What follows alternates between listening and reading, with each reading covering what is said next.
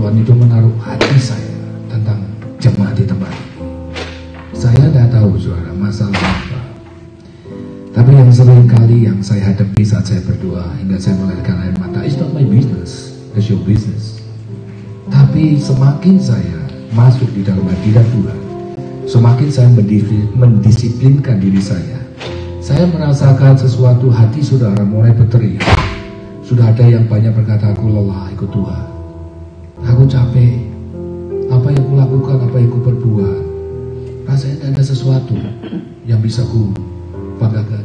Waktu saya berdoa, saya berkata kepada Tuhan, bukakan jalan. Bukakan, bukakan jalan untuk umatmu.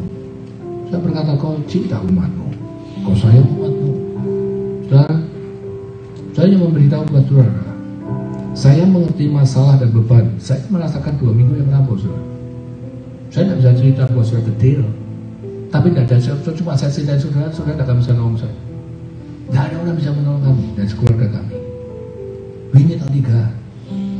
He teach me how to make miracle right away what you want. Just excellent, saudara. Nah hari ini yang saya mau bagikan buat saudara. Dan tidak mungkin. Orang yang ngurusin saya tiga orang yang berkata, is hard. It's harder. Dan gak ada jalan, Rudi. Dan kamu tunggu panis saja sekarang. Bayangin, saudara. Dan saat saya datang kepada Tuhan, saya berkata, saya masih punya jalan. Kenapa? Yeremia 17 ayat 7 mengatakan,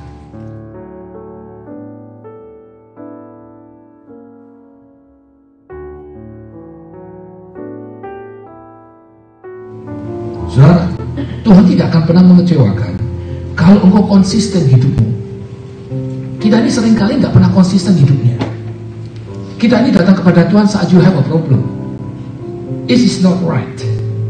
Kalau saudara mau datang kepada Tuhan saat tidak terjadi apa-apa saudara. Nanti begitu saudara punya problem, berarti dia akan jawab dia. Di Mazmur 9 ayat 11.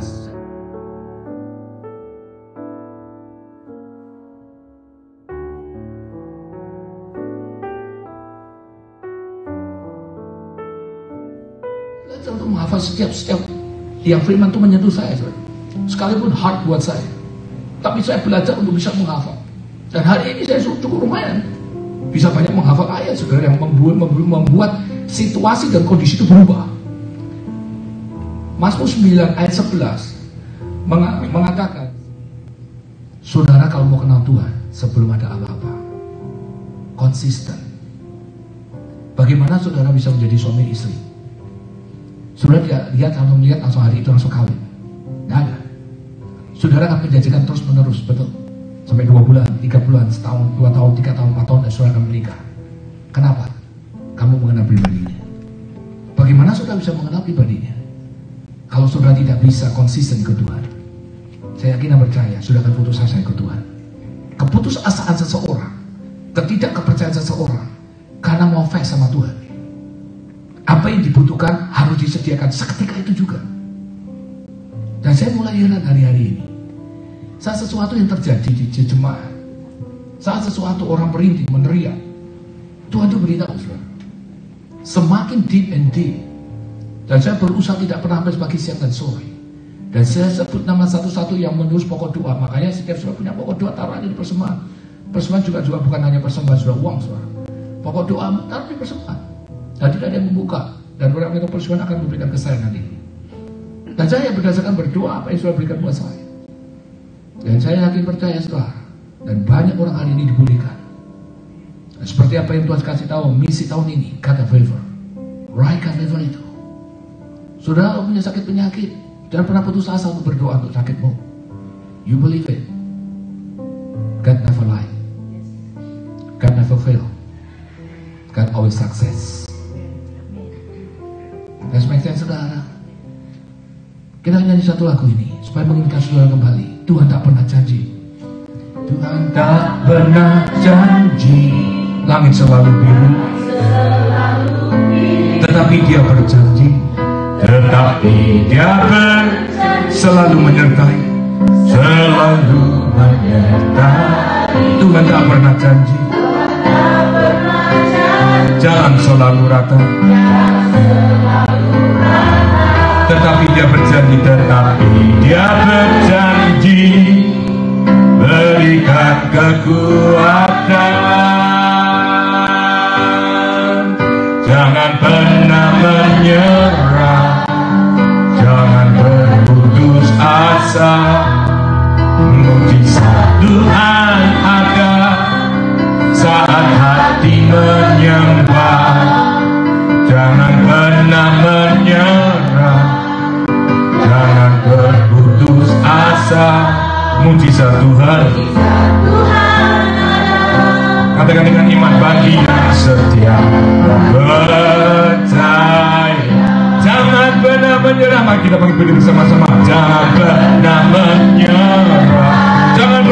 Gaza.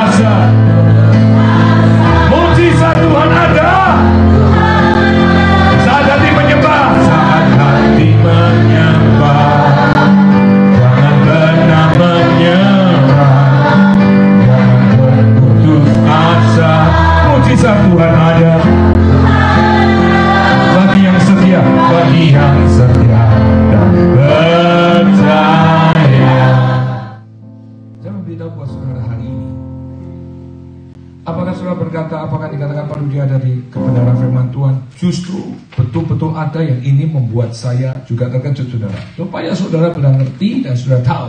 Ini firman di saat saya doa siang yang Tuhan berikan buat saya untuk menyelesaikan suatu masalah yang begitu besar yang tidak ada seorang pun yang bisa, lawyer pun gak bisa, semua pun. Sekalipun saya dikerjain habis dengan ini orang, tapi saya percaya saya tidak pernah dendam dengan orang ini. Tidak ada orang yang bisa melepaskan saya dari jebakan ini. Tapi saya beritahu buat saudara hari ini, Allah Allah yang luar biasa. Jika engkau betul-betul konsisten ikut Tuhan, bukan saja saudara punya masalah, saudara punya penyakit. Bukan di keluaran pasal 14. Supaya kau belajar hari ini dan kau tahu baik-baik.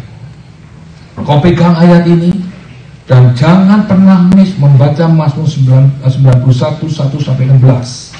Dan saya berharap malamnya saudara bisa membaca Yesaya 55 8 sampai 13. Jangan miss. Saudara akan lihat selama saya dalam keadaan itu kurang lebih 6 bulan. Never miss. Apa yang saya percaya dalam firman is going through. Is excellent, saudara. Keluaran 14 ayat keempat ke, ke ayat yang pertama dulu sampai ayat yang 3 dan 4. Ini yang saya mau sharekan buat saudara. Berfirmanlah Tuhan kepada Musa demikian, katakan kepada orang Israel, siapa yang siapa yang berkata? Tuhan kepada siapa? Ngomong apa dia? Supaya mereka apa? Balik kembali. Bayangin, siapa yang suruh umatnya bangsa Israel keluar dari tanah Mesir? Siapa? Tuhan. Kalau Tuhan sudah bilang keluar, berarti harus keluar. Pertanyaan saya, kenapa balik? Kenapa harus balik? Keluaran 14 ayat 14. Kenapa harus balik? See? Apakah Tuhan pelin pelan? See? Apakah Tuhan nggak percaya bahwa dirinya sanggup? Manusia akan berkata, Tuhan kamu pelin pelan. Keluaran 14 ayat 14. Kamu pelin pelan, kamu udah konsisten. Tuhan itu konsisten. Keluaran 14 ayat yang pertama. Ulang sekali lagi. Berfirmanlah Tuhan kepada Musa. Demikian, katakanlah kepada orang Israel supaya mereka apa? Balik kembali. Yang tidak masuk otak saya adalah dan berkemah di depan pihak Irot antara Mito dan laut tepat di depan apa? Loh, aneh kan saudara? Lihat nih, kita ini kadang kala ini nggak pernah ngerti firman Tuhan. Kadang kala ini kita ini nggak boleh dikatakan pay attention. Justru sesuatu yang saudara tidak mengerti harusnya saudara berulang-ulang sampai saudara baca ngerti. Jangan ditinggalin. Kalau saudara dikasih kerjaan bos saudara, lalu bos saudara berkata kerjaan ini, lalu saudara tidak bisa ngerjain, saudara tinggalin. Apa resikonya? Dipecat saudara. Benar? Nah ini Tuhan tuh kasih kerjaan kita. Kerjain dong, bacain aja. Tidak ngerti, jangan ditutup Alkitabnya. Jangan dibuang Alkitabnya. Jangan nggak dibaca lagi atau hanya sekali lagi is wrong. Saudara akan buntu, doa saudara, masalah saudara lebih berat lagi, lebih hancur. Kenapa? Karena saudara tidak pernah mengerti apa yang Tuhan katakan. Saudara harus cari sampai saudara ngerti. Kan saudara punya urgent masalahnya, yes? Saudara punya kehidupan yang sangat penting dan harus ditolong right away. Saudara harus temukan sampai ketemu. Saya berkata kepada student saya, gini deh, saya sudah datang, kamu sudah datang. Dan saya berkata, boleh nggak saya kasih kamu satu jam? Habis itu saya pulang, free. Saya dengan uang, saya tidak berdua. I wanna go back. Saya tidak feel in here. Are you get heart attack? No, I'm happy. I know heart attack, I'm happy. What happened? I want to go. Are you happy? I give you free one hour? Yes, very happy. Are you also okay? You lose some money, I don't care. Oh yeah, I know, you rich. Dia bisa, dia lu buatin dia selalu baik buat saya sudah hamilnya terus kita. Selesai satu jam saya pulang dan saya duduk di kamar saya sampai pagi hari. Why? God's favor saya dapat anugerah Tuhan. Enggak saya oh senang-senang. Enggak saya masuk dalam ada roh kudus berkata I want to teach you something. Kalau saya nggak tinggalin saya kerjain terus bekerja dan saya berkata oh oh thank you Tuhan. Cuma begitu saya tidak akan tahu lebih dalam lagi.